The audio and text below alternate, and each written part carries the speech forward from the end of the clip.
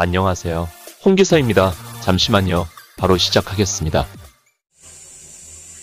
양변기 물을 내렸을 때 이렇게 시원하게 내려가줘야 정상입니다.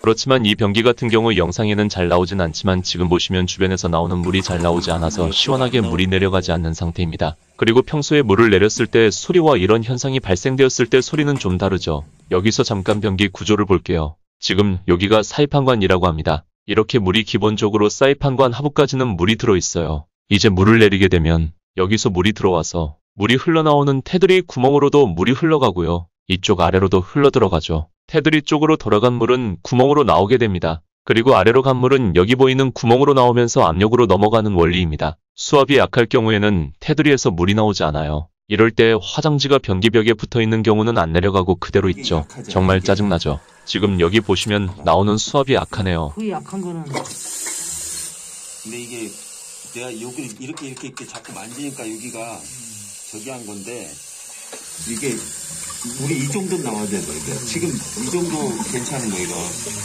이 정도 fill valve ball tap을 들었다 놨다 했더니 물이 잘 나오다가 안 나오다가 하네요. 지금 fill valve ball tap에 이상이 있는 것 같습니다. fill valve ball tap에 여기를 보시면 시건 장치가 있어요. 손으로 힘을 주어서 빼주시면 됩니다. 그리고 ball tap 부분을 돌려서 빼보세요. 스프링하고 이렇게 생긴 고무가 들어있어요. 지금 뺀 곳에 이물질 같은 게 껴서 생기는 경우도 있어요. 지금 이것 같은 경우는 고무 패킹이 변형이 생겼네요. 여기 보이시죠? 울퉁불퉁하죠? 여기에 이물질이 껴서 생기는 원인도 있지만 3년 이상 사용하였다면 고무 변형이 많죠. 그래서 고무 패킹만 교체하면 되겠지만 패킹만은 팔지 않아요. 그래서 세트로 fill valve ball tap을 교체하셔야 합니다. 지금 이 양변기 같은 경우에는 대림 회사에서 나온 원피스 양변기예요. 업체에 맞는 변기 모양과 fill valve 모양 사이즈에 맞게 구매하여 설치하시면 됩니다. 저는 인터넷에서 이렇게 세트로 판매하는 것을 구매했어요. 잘 모르시면 가까운 철물점이나 변기 가게에 가지고 가서 제품과 같은 걸로 구매하는 것도 좋은 방법입니다. 이제 교체해 볼게요. 영상처럼 1번, 2번, 3번 순서대로 풀어줍니다. 먼저 앙카 밸브를 잠그고 변기 하부의 고압호스 너트를 풀고 fill valve를 잡고 있는 너트를 풀어주면 해체가 됩니다. 변기 하부의 몽키로 풀기가 정말 난해하죠. 그래서 요즘에는 플라스틱으로 따로 연장이 잘 나오더라고요. 구매해서 사용하는 것도 나쁘지 않아요. 그리고 구매한 fill valve ball tap을 설치해주세요. 어렵지 않아서 굳이 설치 영상은 올리지 않았어요. 설치 후 물을 내려보았습니다. 정말 잘 내려가네요.